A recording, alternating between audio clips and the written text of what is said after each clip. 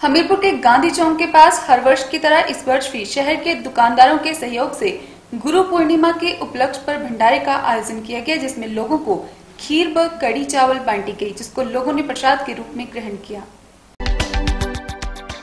हमीरपुर के गांधी चौक के पास हर वर्ष की तरह इस वर्ष भी शहर के दुकानदारों के सहयोग से गुरु पूर्णिमा के उपलक्ष्य पर भंडारे का आयोजन किया गया, जिसमें लोगों को खीर व कड़ी चावल बांटी गई, जिसको लोगों ने प्रसाद के रूप में ग्रहण किया। दुकानदारों ने कहा कि भंडारे का आयोजन पिछले कई सालों से हर मास की संक्रांति के दिन स्थानीय दुकानदारों के सहयोग से किया जाता है, जिसमें लोग काफ़ी संख्या में इस भंडारे का आनंद उठाते हैं।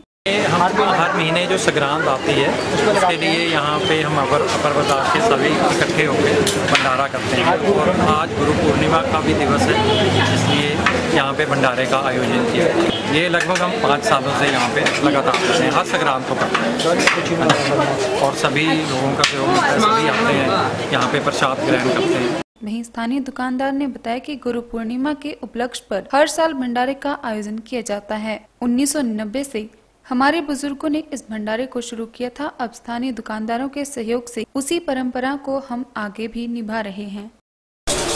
आज गुरु पूर्णिमा है इस उपलक्ष्य पर हमने ये भंडारा लगाया हुआ है। ये हमारे पिताजी पहले लगाते आए थे। ये उन्नीस सौ नब्बे से चलता आ रहा है और इससे पहले हमारे पिताजी लगाते थे अब हम इसे अभी चला रहे हैं। कार्यक्रम में वक्त चले छोटे से ब्रेक का मिलते हैं ब्रेक के बाद।